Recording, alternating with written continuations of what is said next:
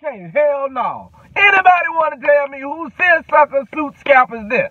Who you think you fooling? You do know that we know that that's your damn head. You know damn well you could have got you a wig, a helmet, a hat, a sombrero, a ski mask or something. Gonna draw some damn lines on your head like we don't know you got the same hairline as Goro from Mortal Kombat. This is called a wish do. Wish you had some hair to do it. Now my mama used to put her makeup on on the way to work, but you got her beat. You just gonna draw yourself a whole hairstyle before you get with the hair you going. I bet them kids get their ass cussed out by them black markers in the house. Who ain't even messing with my hair markers?